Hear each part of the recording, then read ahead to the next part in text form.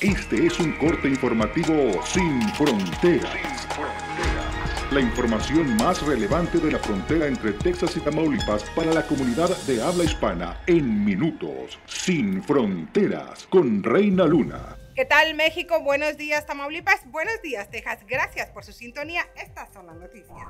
Varios delincuentes a bordo de una camioneta Ford Expedition negra sometieron en tres ocasiones a tres personas diferentes, obviamente en tres lugares diferentes. Los amenazaron con lo que parecía ser un arma. Los robaron a mitad de la madrugada del domingo. Esto pasó en Mission. Por fortuna, agentes del sheriff del condado Hidalgo dieron con ellos. Se trata de seis jovencitos, cinco de solo 15 años, el otro de 16. Por horas, dos preparatorias del distrito escolar de Sherland estuvieron ayer paralizadas debido a amenazas de bomba.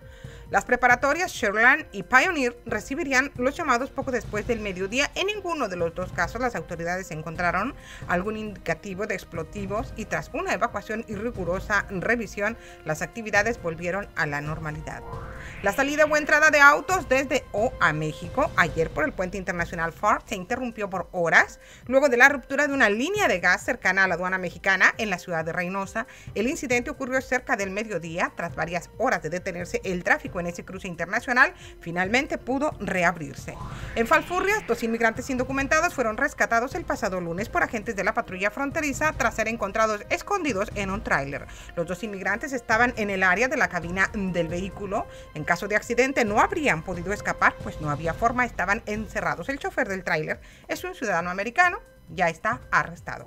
La Universidad de Texas A&M abrirá un campus en McAllen, según se anunció ayer. El campus satelital estaría ubicado al norte de McAllen, sobre la calle Ware Road, según se anunció durante una conferencia de prensa el martes. Las ciencias, los programas que tendrán serán ingeniería, ciencias biomédicas, agricultura, tecnología y laboratorio de ciencias. Así que estará listo pronto. Y rápidamente nos vamos al clima. Hoy México está de fiesta. Felicidades, es feriado nacional.